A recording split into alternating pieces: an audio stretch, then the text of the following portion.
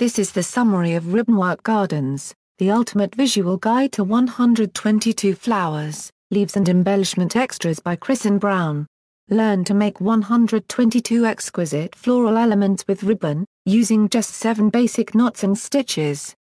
Create a stunning fabric landscape and fill it with beautiful ribbon blooms like sweet cottage daffodils, bold and bright dahlias, or perfect little sweet peas. Suitable for every skill level, this indispensable guide shows you all the flower making basics with plenty of how-to photos. It's a complete compendium with ribbon styles, selection and care, cutting charts, troubleshooting tips, and a gallery of inspirational ideas for using the floral vignettes you design.